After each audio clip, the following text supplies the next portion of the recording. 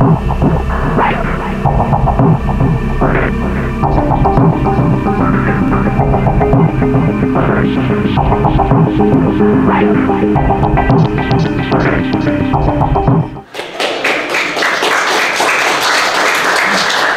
ich bedanke mich für die Einladung und ich möchte gern versuchen, ein bisschen rüberzubringen, wie wir in der Vergangenheit unsere Tagungen gestaltet haben. Und ich möchte auch einen Ausblick geben auf die Zukunft. Und da ist mir das Feedback vom Publikum wichtig. Äh, wir haben wie alle anderen Tagungen auch das Problem, dass wir überaltern. Wir haben kaum junge Sternfreunde, die zu unseren Tagungen kommen. Und äh, wir möchten das gerne versuchen zu verändern. Und dazu bräuchte ich eben dann nachher Feedback, was sich die jüngere Generation wünscht, wie eine Tagung abläuft, damit sie zu unseren Tagungen kommen. So, jetzt möchte ich Ihnen ein paar Bilder zeigen, wie es bei uns in der Vergangenheit war. Die VDS dürfte Ihnen ein Begriff sein. Die Vereinigung der Sternfreunde ist die Dachorganisation aller Amateurastronomen hier in Deutschland. Und unter dieser Dachorganisation gibt es sehr viele verschiedene Fachgruppen, unter anderem die Fachgruppe der Planetenbeobachter. Und diese Fachgruppe macht seit inzwischen 34 Jahren äh, Tagungen. Vor vielen Jahren wurde noch per Schneckenpost dazu eingeladen. Da hat man die Briefe vervielfältigt, mit der Post verschickt und äh, Ergebnisse wurden hauptsächlich in Form von Zeichnungen präsentiert. Irgendwann kam dann die Fotografie und man hat Dias gezeigt, man hat Super 8 Filme gezeigt und vor etwa 15 Jahren setzte dann die digitale Revolution ein. Man hat mit Digitalkameras gefilmt, äh, mit Videokameras, die hat man irgendwie mit Tesaband, Spratzband am Okular befestigt äh, und hat dann Okularprojektion betrieben. Die Planeten sind hell genug, dass man da Ergebnisse kriegt.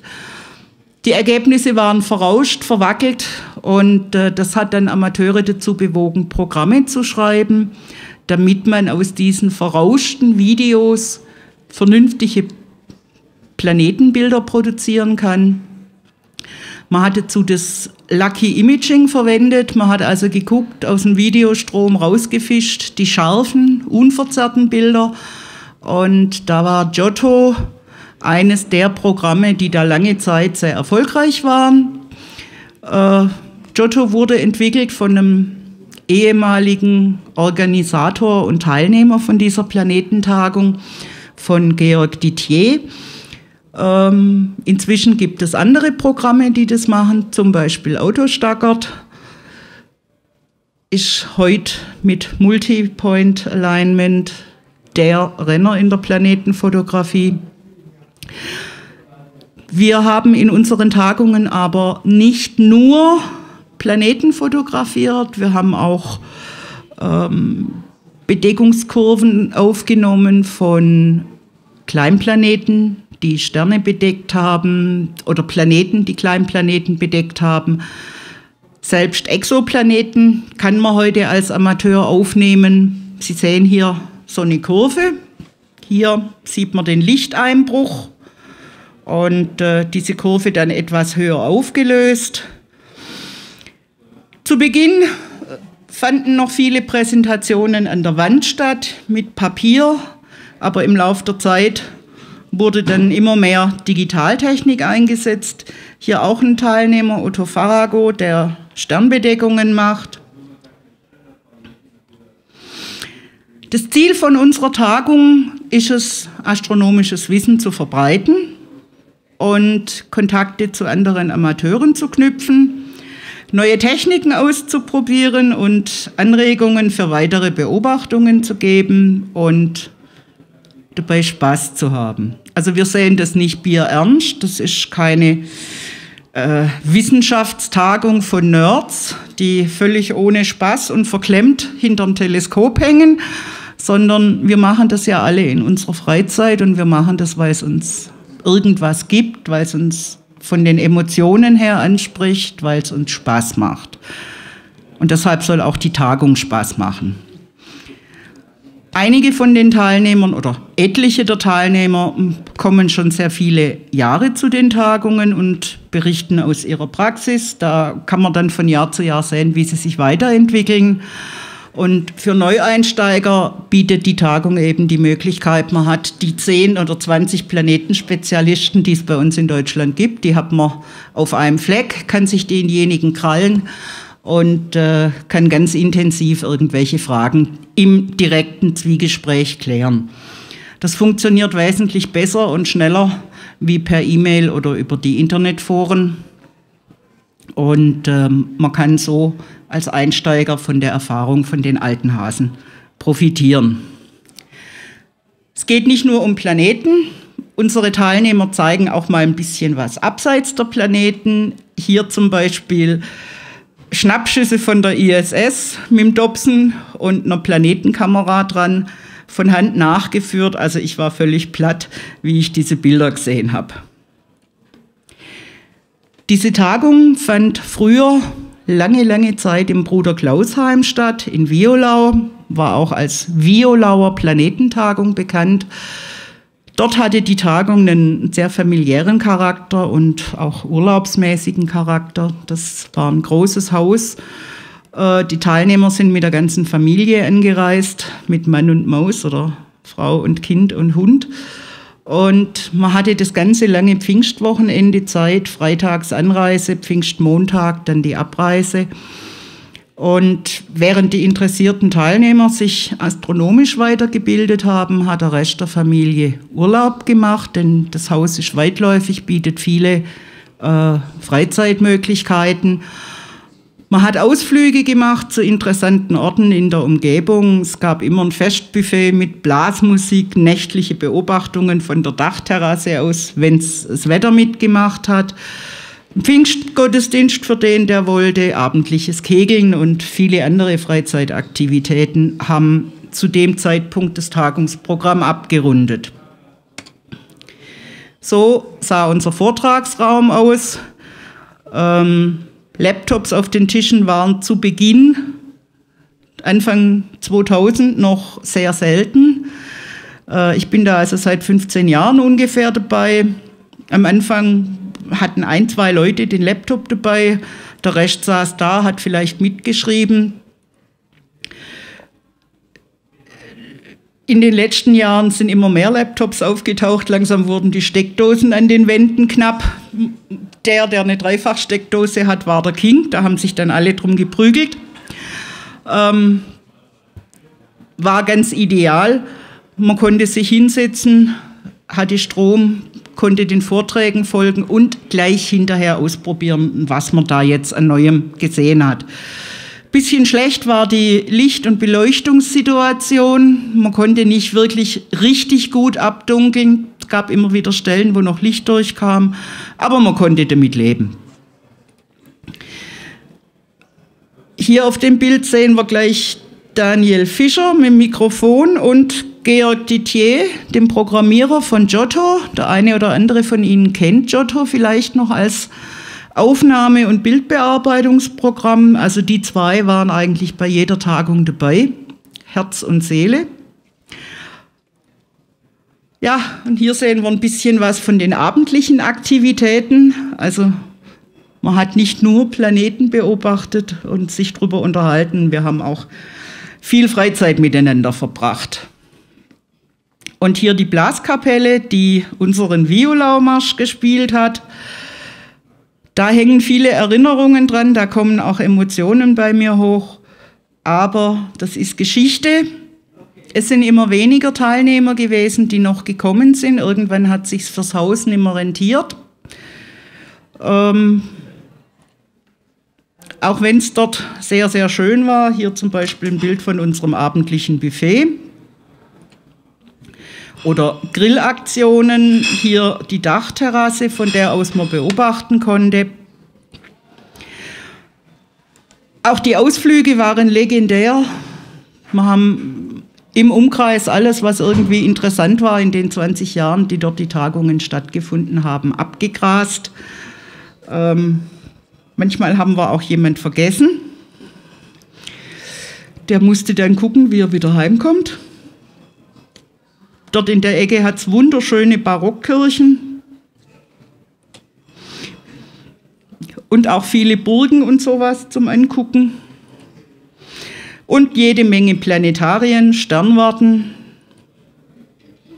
Wir haben, wenn es ging, vom Wetter her auch immer Sonnebeobachtung mit einbezogen und historische Instrumente angeguckt.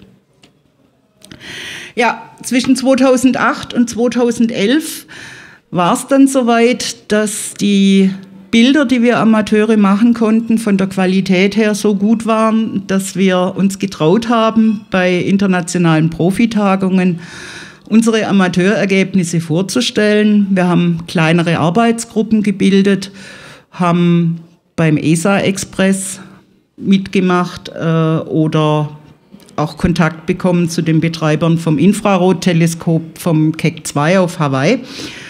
Als Anthony Wesley, ein australischer Amateur den Einschlag 2009 auf Jupiter gefilmt hat, beziehungsweise die Einschlagswolke hinterher gefilmt hat.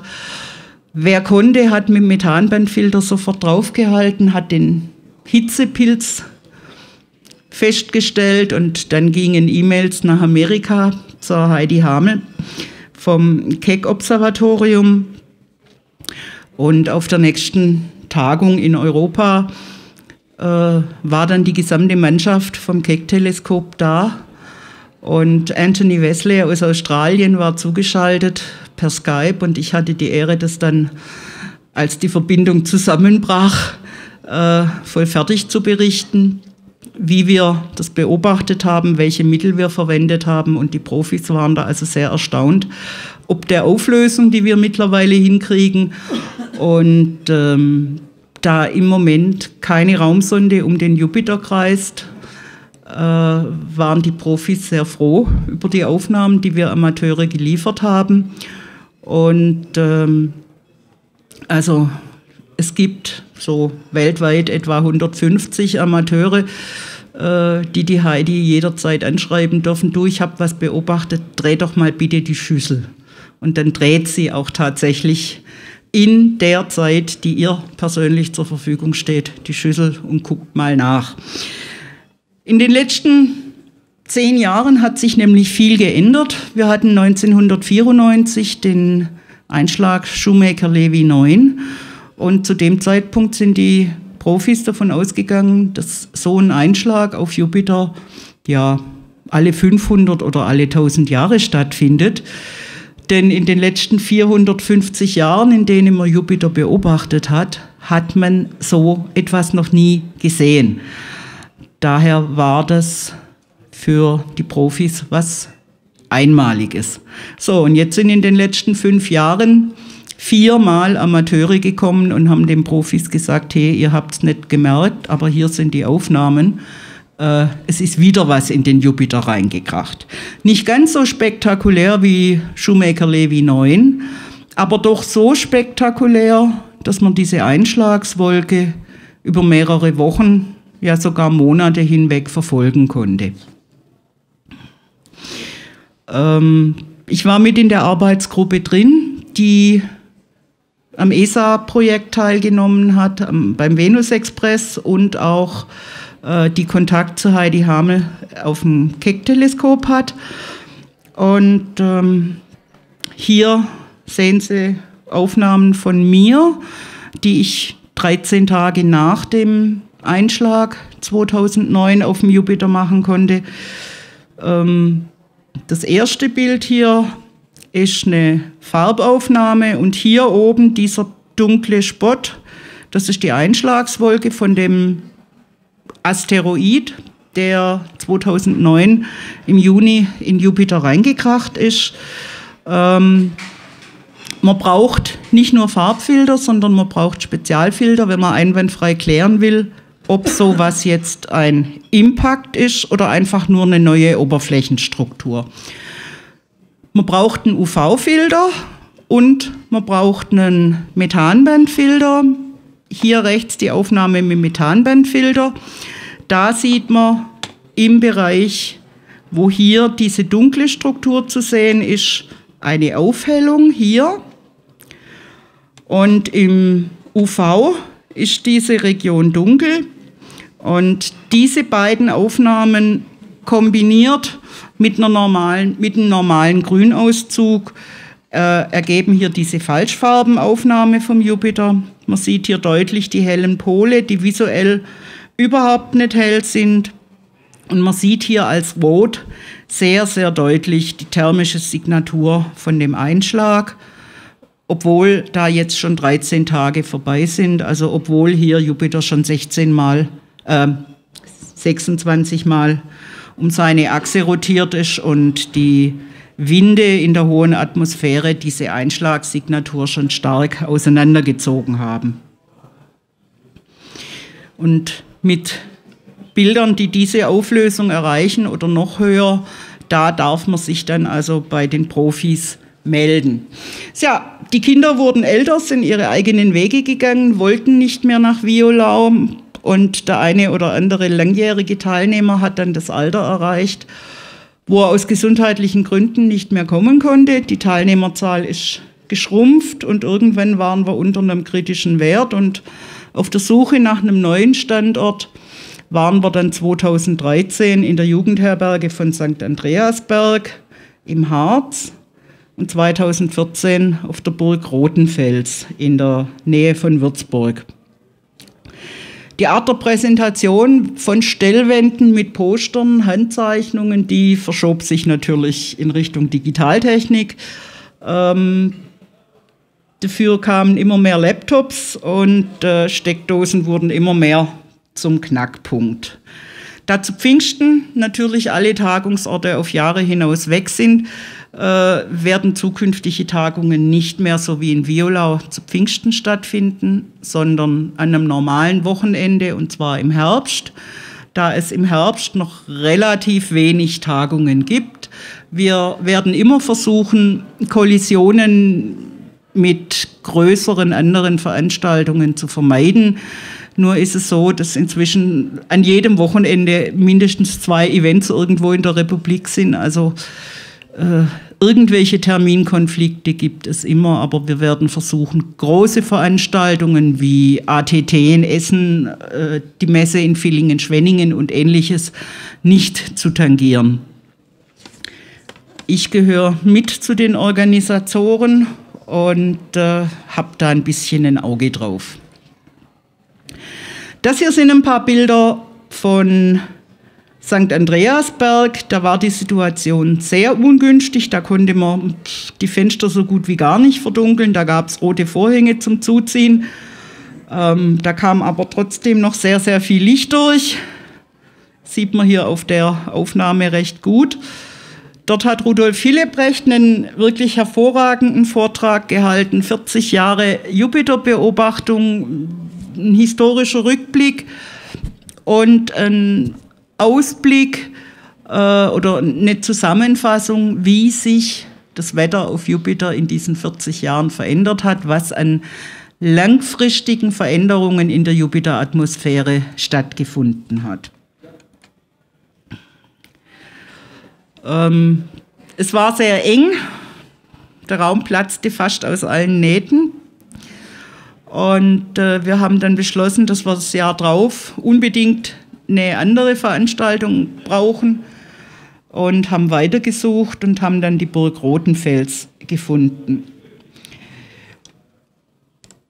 In St. Andreasberg konnten wir tagsüber ein bisschen Sonne beobachten, in Rotenfels leider nicht.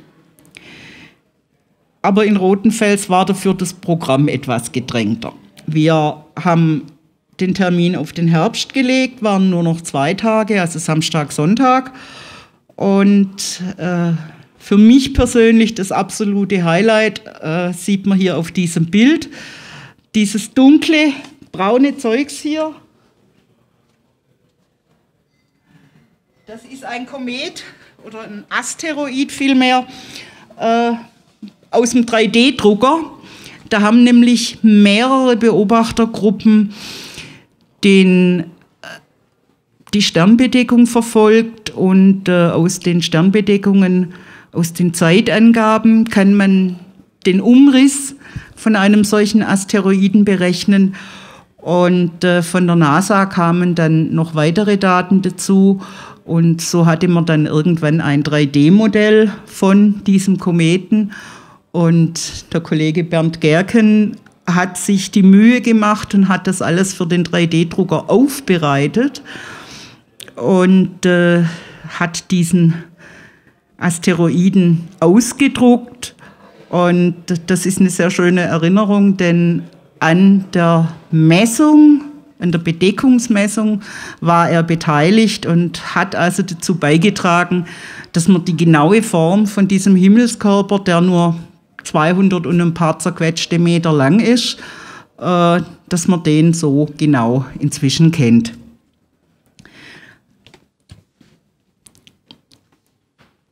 Die Räumlichkeiten auf der Burg waren auch nicht so ganz optimal. Ähm, aber da haben wir uns zumindest mal daraufhin abgestimmt, dass wir zukünftig immer im Herbst unsere Tagung abhalten. Und da wird es für uns jetzt wesentlich einfacher, einen geeigneten Tagungsraum zu finden. Neben dem geeigneten Tagungsraum ist natürlich auch das Tagungsprogramm sehr wichtig. Und da würde ich gerne von Ihnen wissen möchten, äh, was wäre denn für Sie an so einer Tagung ein Programm wichtig, dass Sie da hingehen würden?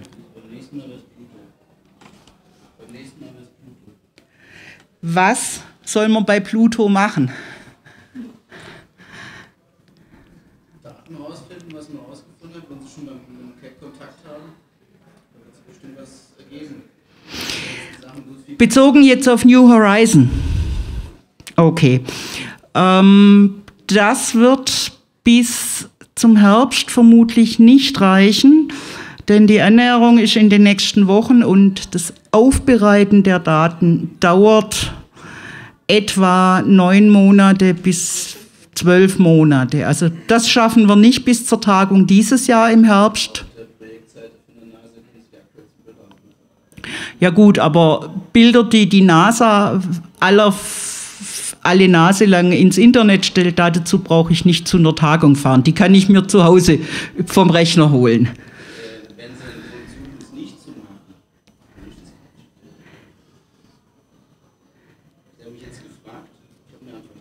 Ja.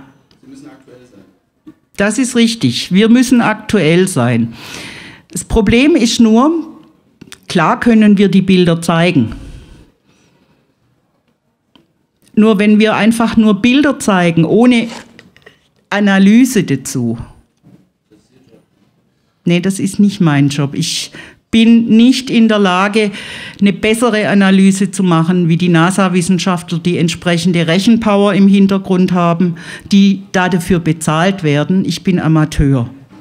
Ich kann ich kann Kontakt herstellen, ich kann fragen, nur ich muss warten, bis der Projektmanager sagt, wir haben unser Paper veröffentlicht, jetzt darf ich dir die Informationen geben. Das ist sowohl bei den Amerikanern so, als auch bei uns in Deutschland so. Solange das Projekt noch nicht abgeschlossen ist, solange die Forscher selber noch an den Daten arbeiten, kriegt man zwar die Rohdaten, die, die stehen auf der Webseite, aber ich habe nicht die, die Rechenleistung, die Programme, um eine bessere Analyse zu machen wie die NASA. Ich kann zwar Bildbearbeitung betreiben, aber da Charon und seine anderen kleinen Brüder an Monden eben so winzig sind, ähm, das sind einfach nur ein paar Pixelchen. Da kann man auch mit der besten Bildbearbeitung nicht viel machen. Ja. Zu der Rechenpower, ich sehe immer wieder anführen, die NASA hat hier einen Supercomputer, das ist alles organisiert. Was uns Amateure noch angeht, die sind alle im Prinzip vernetzt im Internet und jeder Einzelne hat eine Hochleistungsrechenmaschine zu Hause stehen. So, wenn diese Schwarmintelligenz zusammenarbeiten würde, dann würde diese Datenbearbeitung viel schneller gehen. Ja. Und da könnte man auch auf so, eine, auf so eine Tagung die ganze Sache auch noch fokussieren. das ist richtig, wenn wir tatsächlich alle diese Hochleistungsrechner hätten. Ähm ja, ich meine, man muss, man muss ja nicht das ganze Datenpaket selbst komplett an diesem PC bearbeiten, sondern es sind nur so Teile. Ja, das, das, beginnt, das beginnt damit, dass manche von diesen Rechenalgorithmen patentrechtlich geschützt sind und wir die gar nicht verwenden können. Ähm, Dekompilieren von derartiger Software ist technisch möglich. Aber ich habe keinen Bock, nicht nur mit einem halben Fuß, sondern mit beiden Füßen im Knast zu stehen. Also da sind unsere Rechtsanwälte mit Abmahnungen extrem schnell bei der Sache. Es tut mir leid, es gibt Aufgaben, die kann ich als Amateur und nicht Mitarbeiter einer wissenschaftlichen Institution nicht machen. Ich kann verstehen, dass jeder diese Daten gerne hätte und versucht, egal woher, sie zu kriegen. Nur es gibt bestimmte Dinge, die können wir nicht leisten. Es geht nicht, weil auch wir an, an Gesetze gebunden sind.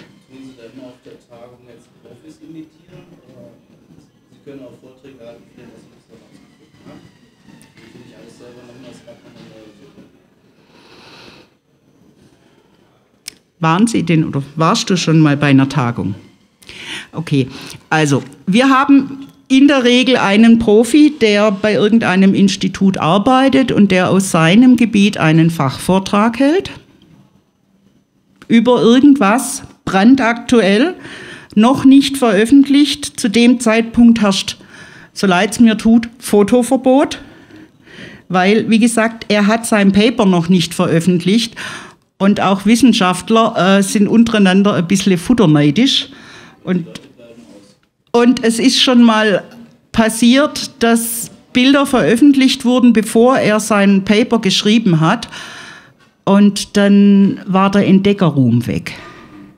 Also das hatte massive Auswirkungen auf sein Gehalt, um es mal ganz deutlich zu sagen. Und äh, der kommt nie wieder zu uns.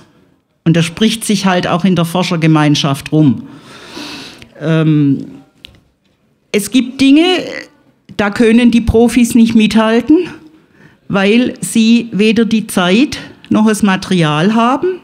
Das ist die kontinuierliche Überwachung der Planeten, um die keine Raumsonde kreist. Wir haben im Moment Cassini, kreist um Saturn. Wir haben New Horizon, die Hallihallo am Pluto vorbeifliegt aber nicht mehr macht. Die kann ich anhalten und in eine Kreisbahn einschwenken.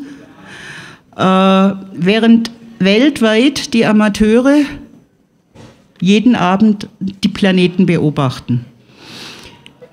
Das Hubble Space Teleskop guckt alle paar Monate mal in Richtung Jupiter, ob der große rote Fleck noch da ist, ob die Monde noch da sind, guckt alle paar Monate mal in Richtung Saturn. Äh, ob die Ringe noch da sind, immer dann, wenn der Direktor gerade Bock hat, weil dazu wird nur die Zeit vom Direktor verwendet.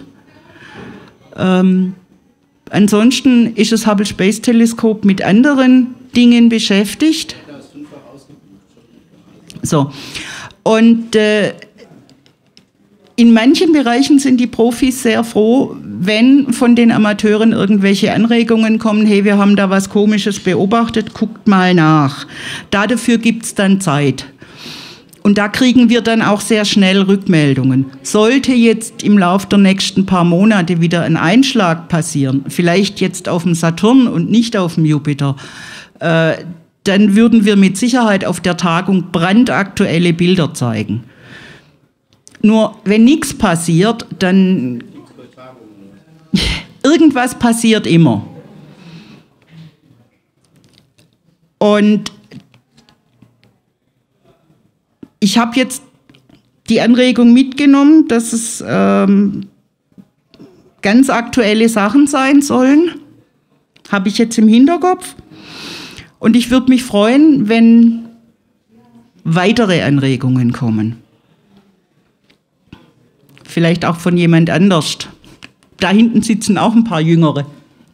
Was wäre für euch an so einer Tagung interessant?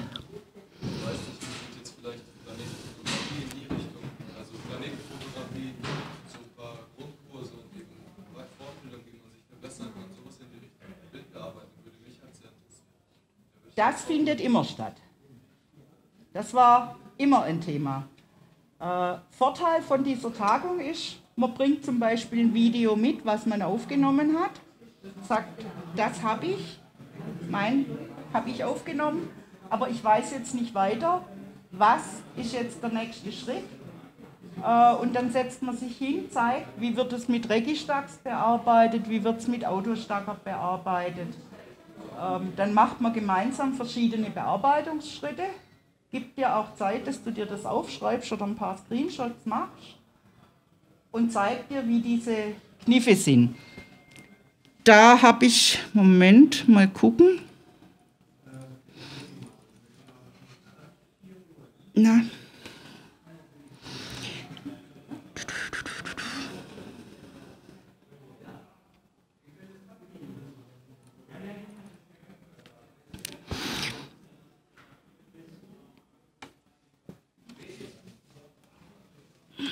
So, kann man das von hinten erkennen? Das ist jetzt ein recht aktueller Saturn. Saturn ist dieses Jahr sehr tief, steht zwischen 15 und 20 Grad oder 21 Grad am Horizont, ist also extrem schwierig zu filmen, zu fotografieren. Ich hatte da relativ ruhiges Seeing und man erkennt, ja, hier etwas schlechter, eine fast umlaufende Cassini-Teilung. Dieses Video ist schwarz-weiß, weil es ein sogenanntes RAW-Video ist, also ohne Farbinterpolation durch irgendwelche Kamerasoftware vom Hersteller, der sich irgendetwas dabei denkt, aber der kein Amateurastronom ist und der nicht weiß, was wir an Details in den Aufnahmen haben möchten. Das ist also eine möglichst nicht verfremdete Originalaufnahme. Und aus einer solchen Aufnahme wird mit Autostacker ein Summenbild erstellt und aus diesem Summenbild kommt dann ein farbiges Bild raus und aus diesem farbigen Bild wird mit weiteren Bearbeitungsschritten geschärft, Kontrast verstärkt, Farben noch ein bisschen korrigiert und am Schluss sieht das dann so aus. Und wie man jetzt von diesem Aufnahmevideo zu diesem farbigen Bild kommt, das ist eigentlich jedes Jahr wieder Thema auf der Tagung. Da gibt es kleine Workshops dazu, wo man seine eigenen Videos mitbringt, die in den Rechner reinschiebt per USB-Stick oder externer Festplatte und dann gezeigt bekommt, wie man das bearbeitet. Das ist Grundbestandteil, weil das ist tägliche Handwerkszeug in der Planetenbeobachtung.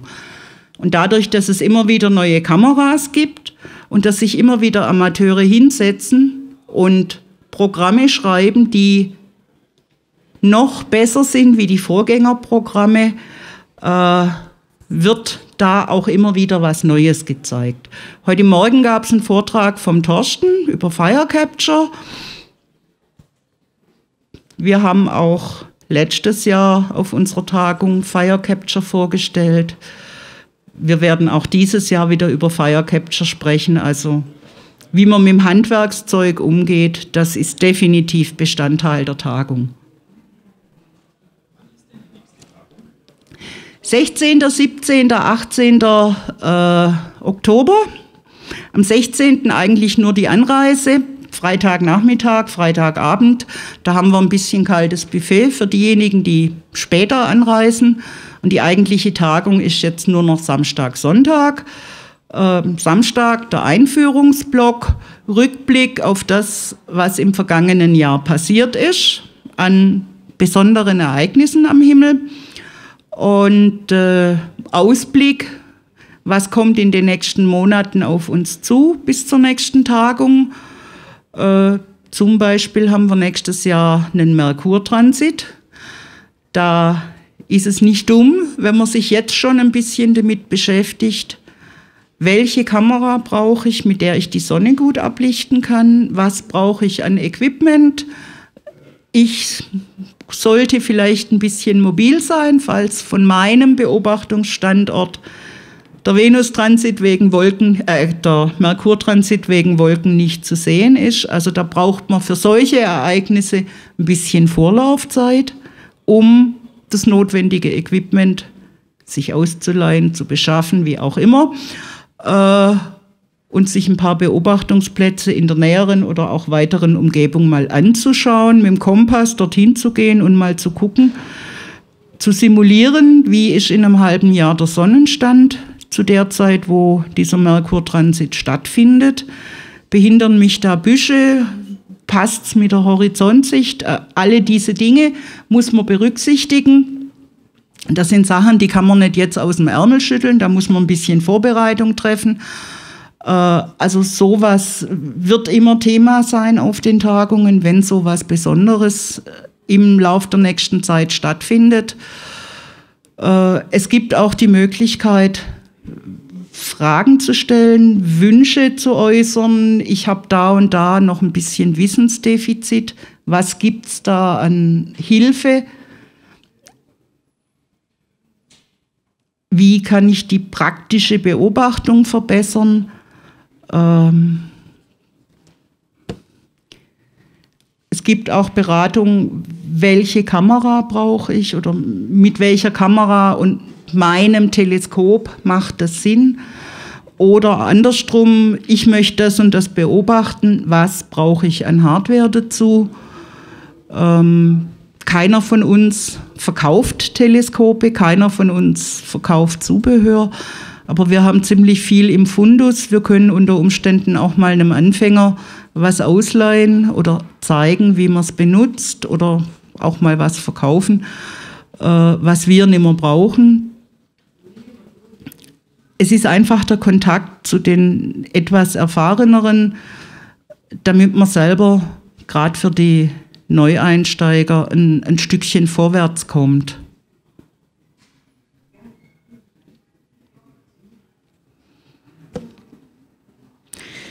So, also ich habe Ihnen jetzt den Saturn gezeigt. Ähm, ich werde immer wieder gefragt, mit welchen Wahnsinnsinstrumenten ich sowas mache. Was schätzen Sie denn?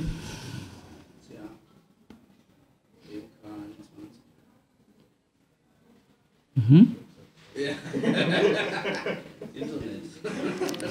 Internet. Okay, also bin die Silvia aus dem Astro-Treff und äh, dieser Saturn ist mit einem 6 Zoll Mac gemacht und mit der ALC CD 5L2C. Also ganz popliche Farbkamera, Zweifach Barlow und den 6 Zoll Mac. Das ist kein Equipment, mit dem man zum armen Mann wird oder zur armen Frau. Das ist auch kein Equipment, wo ich vorher im, im äh, Sportstudio Muskelaufbau betreiben muss, damit ich das nachts auf die Montierung heben kann. Das ist alles sehr handlich. Äh, steht bei mir auf dem Balkon. Ich habe nur das Problem, dass meine Knie kaputt sind. Ich kann es nicht mehr über die Treppen ins Auto tragen. Also was ich vom Balkon aus nicht mehr aufnehmen kann, das äh, ja, findet ohne mich statt. Und das ist auch gleich ein weiterer Punkt das tollste Teleskop, die beste Kamera nützt überhaupt nichts, wenn ich den inneren Schweinehund nicht überwinden kann und mit dem Geraffel dann auch beobachte. Das Schöne bei der Planetenbeobachtung ist, man kann es aus der Stadt rausmachen. Man muss nicht unbedingt ins Gebirge unter einen 6,5 Mark Himmel fahren. Ich wohne in Ludwigsburg, 80.000 Einwohnerstadt. 50 Meter neben mir ist Industriegebiet, das taghell erleuchtet ist. Gut, ich habe das Glück, dass ich nicht in die Scheinwerfer rein beobachten muss. Äh, aber Planetenbeobachtung ist eigentlich von jedem Fleck aus machbar, egal ob von der Stuttgarter Königsstraße, äh, neben dem Fußballstadion, halt nicht gerade dann, wenn Flutschlichtscheinwerfer eingeschaltet sind, aber ansonsten lässt sich das prima machen. Und wie gesagt, man braucht nicht Equipment für Tausende von Euro. Während Deep Sky Fotografie da in ganz andere Preisklassen ausufern kann. So, ich würde Ihnen gern noch ein paar andere Videos zeigen.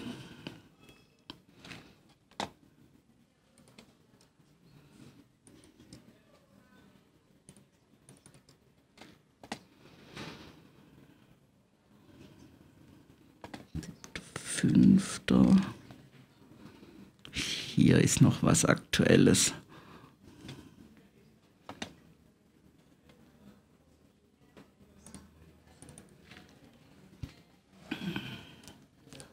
Auch das ist ein RAW-Video, ähm, wo man nicht allzu viel sieht im ersten Moment.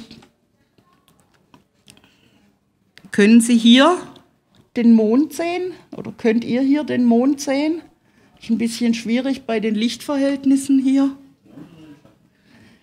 Hier ist ein Mond.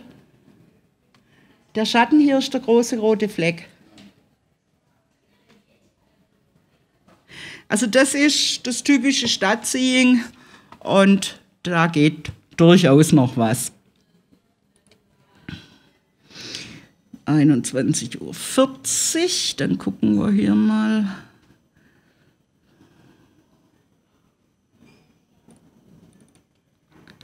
So, das ist jetzt nur rumgedreht, bis es richtig rumsteht. Äh, richtig rum heißt für die Beobachter Süden oben, die rein rotierende Seite auf der rechten Seite, die wegrotierende Seite auf der linken Seite, damit man aktuelle Aufnahmen mit Aufnahmen aus früheren Jahrzehnten vergleichen kann, als gezeichnet wurde. Und gezeichnet wurde in der Regel bei langen Linsenfernrohren und da stand eben alles auf dem Kopf. Und bevor man jetzt hergeht und äh, tausende von alten Zeichnungen digitalisiert und spiegelt oder umdreht, äh, dreht man einfach die modernen Aufnahmen im Computer auf den Kopf und kann sie dann ganz bequem mit den alten Aufnahmen vergleichen. Man sieht hier also sehr schön innen drin den Kern im Auge. Man sieht hier die Wirbelschleppe, diese einzelnen weißen Teilchen hier. Das sind alles Ausbrüche, also da kommt von unten Material nach oben. Kein Profi kann uns bisher sagen, was das ist. Äh, es gibt verschiedene Theorien, dass aufgrund von Vorgängen in der unteren Atmosphäre ähm, es lokale Wärmepunkte wo dann Material nach oben durch die Wärme nach oben ausdehnt und äh, diese Wolkenschichten durchbricht. Dazu müsste man einfach mal wieder eine Sonde Richtung Jupiter schicken und Messungen machen, Messungen auch in der Atmosphäre machen. Äh, es gibt die Raumsonde Juno, die irgendwann mal bei Jupiter ankommen soll und die dann hoffentlich derartige Messungen machen kann, sofern sie ihn trifft. Ähm, die Geschichte der menschlichen Raumfahrt ist im Moment noch voller Irrtümer und äh, an Planeten Vorbeiflüge, äh, obwohl eigentlich die Raumsonden hätten einschwenken sollen in den Orbit. Da haben wir noch ein bisschen mit den Kinderkrankheiten zu kämpfen. Ähm, vor allem bei Missionen, wo viele Länder beteiligt sind und die einen rechnen in Inch und der Rest der Welt rechnet in Zentimeter. Und dann gab es halt Schwierigkeiten zu kapieren, dass die Bremsdüsen nicht mit Inch, sondern mit Zentimeter gerechnet sind. Äh, dann sind halt Raumsonden verloren gegangen. Also, wie man solche Bilder bearbeitet, ist zentraler Bestandteil einer jeden Tagung. Und wie man sein Teleskop optimieren kann, wie man ein Teleskop besser justieren kann. Wenn er das Teleskop mitbringt zur Tagung, findet sich jemand, der das macht und der euch zeigt, wie es geht.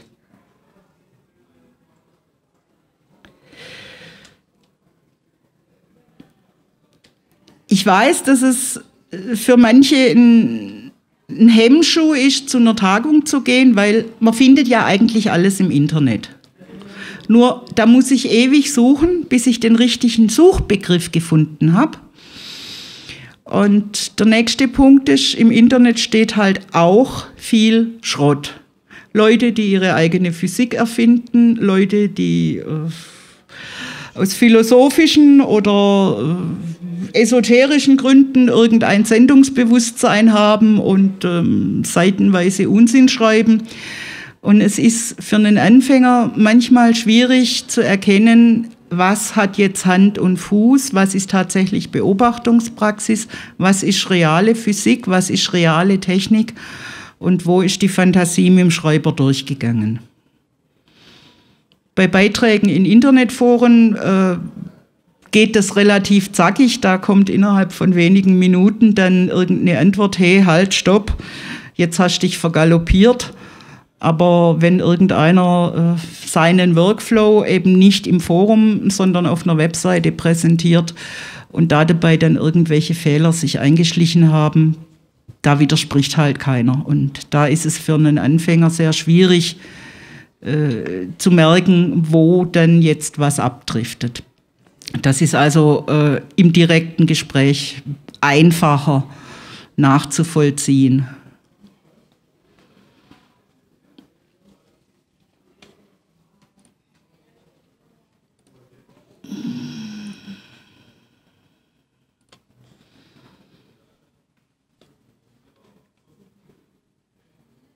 So,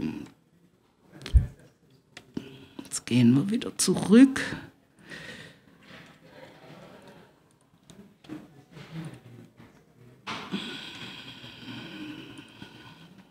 Also wie gesagt, dieses Jahr ist die Tagung auf der Sternwarte Zollernalb, äh, auf der Schwäbischen Alb, aber am anderen Ende der Schwäbischen Alb Richtung, Richtung Schwarzwald. Und äh, bei dieser Tagung.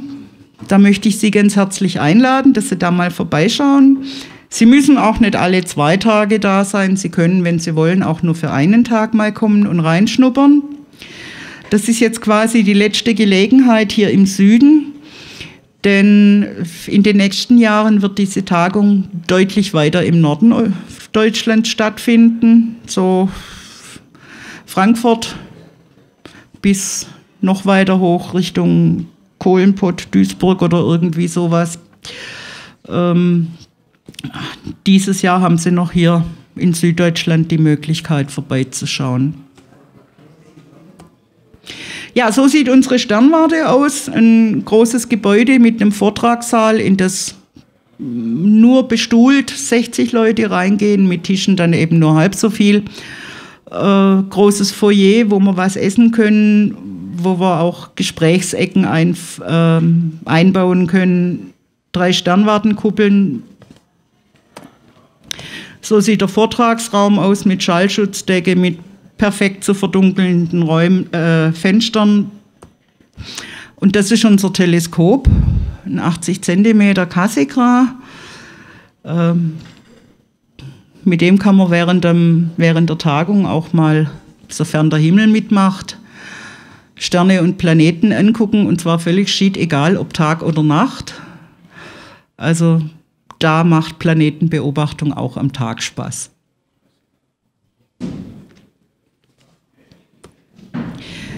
So, und vorhin habe ich gesagt, äh, ich selber arbeite nur mit 6 Zoll. Das, was ich Ihnen hier zeige, das ist Bestandteil meines Vortrags für, den, für die diesjährige Tagung. Dieses Jahr stand Jupiter so, dass wir genau auf die Äquatorebene geguckt haben und konnten sehen, wie sich die Monde gegenseitig bedeckt haben. Äh, vor vielen Jahren hat ein Sternfreund bewiesen, dass man diese Verfinsterung auf den Monden und auch Details auf den Monden als Amateur hinkriegen kann. Das war Christopher Go 2009 auf Cebu auf so einer Insel. Ähm, aber der hat einen C14 dazu verwendet. So, und ich habe dieses Jahr einfach mal probiert, was mit 6 Zoll geht. Und das hier sind meine Originalaufnahmen. Äh, und Sie sehen hier also sehr schön den Schatten von äh, Io auf Ganymed. Das ist eine Animation in 30 Sekunden Schritten. Deshalb ist mein Jupiter auch ein bisschen verrauscht und nicht ganz so glatt, wie ich das gerne hätte, aber man erkennt eindeutig, wie der Schatten über die Planetenkugel bzw. über die Mondkugel wandert. Solche Ereignisse kommen alle sechs Jahre vor, immer dann, wenn wir bedingt durch die beiden unterschiedlich geneigten Umlaufbahnen genau parallel auf die Äquatorebene beim Jupiter schauen. Dann kann man gegenseitige Bedeckungen und gegenseitige Verfinsterungen bei seinen Monden sehen. So, und hier haben wir eine gegenseitige Bedeckung, wo also ein Mond über den anderen hinüberläuft. Da war das Seeing nicht mehr ganz so gut, aber das sind auch in 30 Sekunden Schritten, also jeweils 900 Bilder in 30 Sekunden aufgenommen, nee, 1200 Bilder in 30 Sekunden aufgenommen. Äh, ich saß nur da und habe dauernd auf äh, Rekord gedrückt, damit ich immer den richtigen Rhythmus hatte und habe dann anschließend äh, lange Zeit gebraucht, um diese ganzen einzelnen Videos dann zu Einzelbildern zu verarbeiten, die Einzelbilder zu zentrieren. Und da sich während der Aufnahme die Höhe von Jupiter über dem Horizont verändert hat, veränderte sich auch die Durchsicht.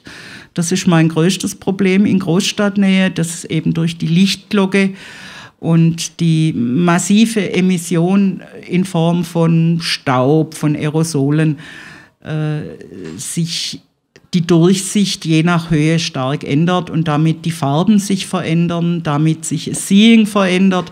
Und um das alles halbwegs gleichmäßig darstellen zu können, für diese beiden Animationen, die ich hier gezeigt habe, habe ich 60 Stunden Arbeitszeit gebraucht. Aufgenommen war das jeweils in 10 Minuten.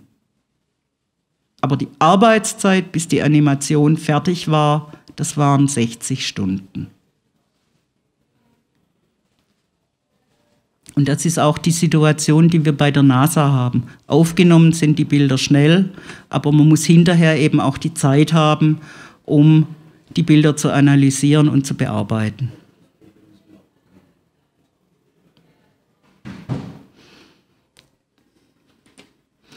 So, und anmelden kann man sich übers Internet auf unserer Homepage. Sie müssen einfach nur planetentagung.de eingeben. Dann kommen Sie hier auf diese Seite und dann einfach nur noch auf Anmeldung klicken und dann die Daten eingeben. Die Tagung selber ist recht preisgünstig. Wir verlangen dieses Jahr 30 Euro, wenn Sie sich jetzt schon anmelden. Sie müssen sich selber nach einer Unterkunft bemühen, aber wir haben äh, Empfehlungen ausgesprochen, welche Pensionen in der Vergangenheit recht gut waren. Und äh, es ist touristisch ein bisschen dünn. Also die Sternwarte ist am Arsch der Welt auf gut Schwäbisch. Äh, da gibt es dann eben auch nicht viele Hotels, wo man hingehen kann. Da gibt es halt ein paar Ferienwohnungen und ein paar Pensionen. Und ähm, die Landschaft ist sehr schön, aber wir sind von der Manpower her nicht in der Lage, ein Programm für Begleitpersonen aufzustellen. Also es ist eine reine Tagung für Amateure, äh, Begleitpersonen und Kinder eher ungeeignet. So, dann bedanke ich mich für die Aufmerksamkeit und äh, wenn Sie irgendwelche Anregungen haben, noch Fragen haben, dürfen Sie mich gerne jetzt noch löchern oder mir eine E-Mail schreiben.